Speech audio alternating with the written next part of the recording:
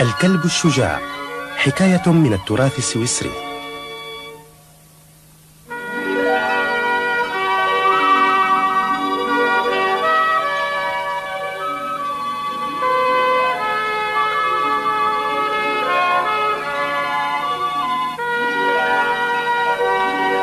كان يا ما كان في قديم الزمان. كان هنالك كلب شجاع يعيش في جبال الألب. جبال الألب ما بين إيطاليا وسويسرا وفرنسا يبلغ ارتفاعها أكثر من أربعة آلاف متر. ولكن حتى في جبال كهذه كان المسافرون منذ زمن بعيد يجتازون القمم.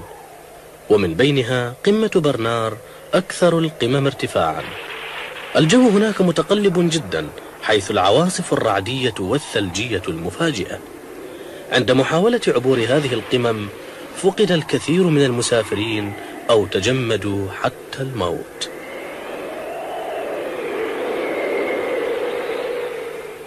يجب أن أجد طريقة لإنقاذ المسافرين. كان هذا المفكر يدعى سان برنار. أقنع برنار الناس في المنطقة لمساعدته على بناء بيت في أعلى المنحدر. وجمع العديد من الكلاب السويسرية القوية وعلمها طريقة العثور على الناس الضائعين وكيفية مساعدتهم. وتعلمت الكلاب بأنه عند العثور على شخص ما عليها أن تنبح بوضوح ثم عليها أن تضع جسمه في وضع يستطيع معه أن يشرب من الدواء المنشط الذي كان يوضع في أوعية معلقة حول أعناقها.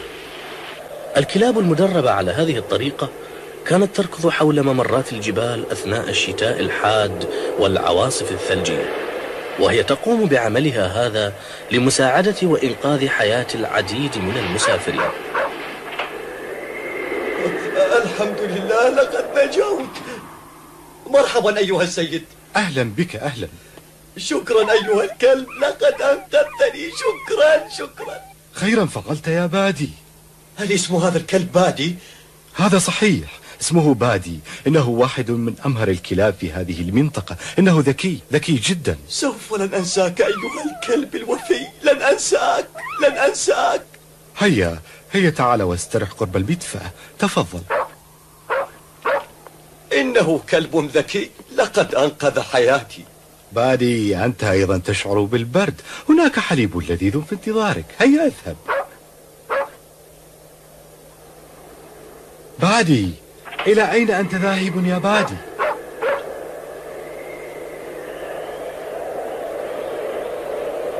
ترى إلى أين ذهب في هذا الجو العاصف؟ إنه لا يستريح أبدا.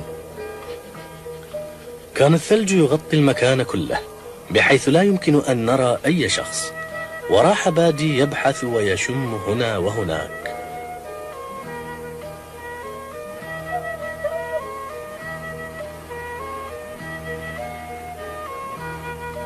واستمر الكلب في البحث وكأنه يعلم بأن هنالك من يحتاج إلى مساعدته.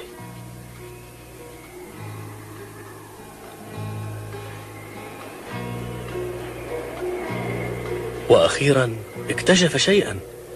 آه إنها طفلة. يا للصغيرة المسكينة كان جسمها متجمدا.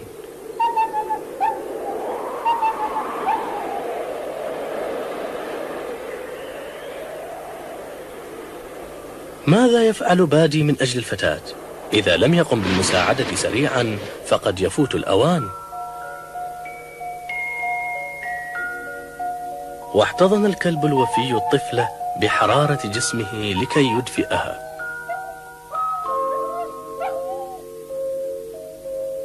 يا إلهي أرجوك أن تساعدني في إنقاذ حياة الطفلة كأن صوت الكلب يقول هذا المعنى.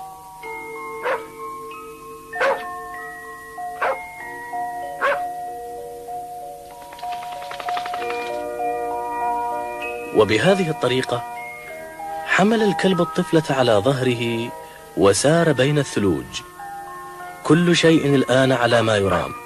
إن الفضل لبادي فقد أنقذ حياة إنسانة أخرى.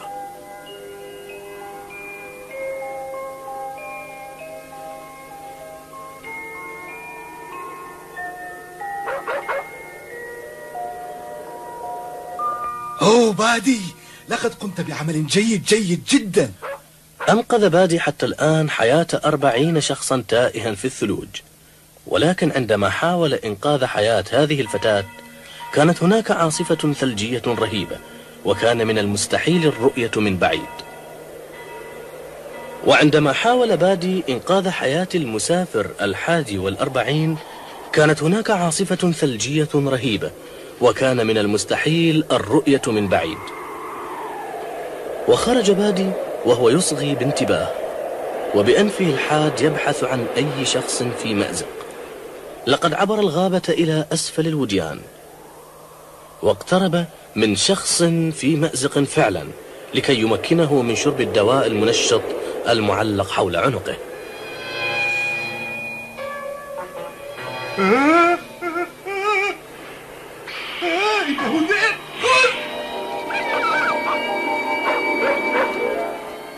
مهما حاول بادي ليقول لست ذئبا لن يفهمه ذلك المسافر فاقد الوعي.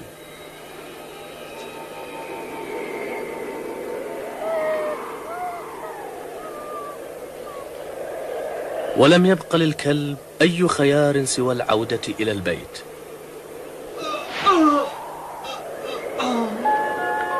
ولكن بادي لم يستطع أن يركض بسبب جروحه البالغة. وأصبحت الممرات الصخرية مجهدة ومتعبة بالنسبة له.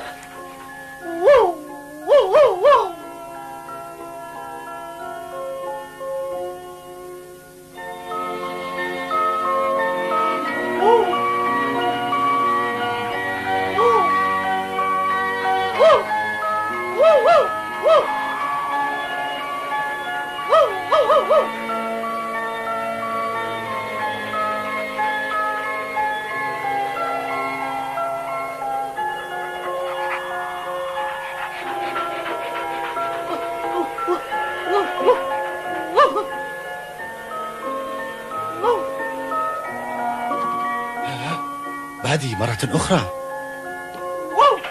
بادي ماذا حدث لك؟ أنك جريح. هيا أدخل. يجب أن أعتني بجرحك. بادي أين ذاهب؟ توقف. يجب أن أعالجك. بادي عد يا بادي بادي آه فهمت. هيا أرنا الطريق. بادي هل أنت بخير؟ ولم تعد لدى بادي الطاقة الكافية للرد. كان بادي يستخدم ما تبقى لديه من طاقة ليوصل سيده إلى المسافر التائه وضعف نظره شيئا فشيئا. هل أنت بخير؟ بادي تماسك. وضعفت كذلك حاسة شمه القوية. واستخدم بادي آخر ذرة من طاقته ليتقدم. ولكن انظر هناك شخص ما.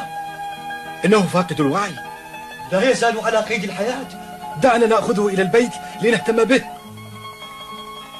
وبينما كان بادي يستمع إلى أصوات الرجال تضاءلت قوته شيئا فشيئا.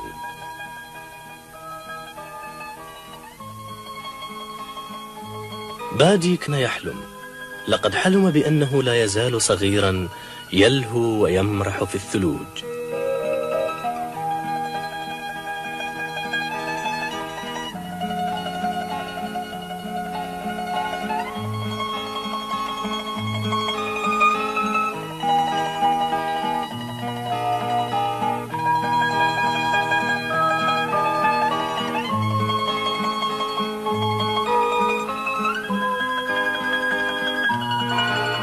وما أن انتهى من حلمه حتى فارق الحياة.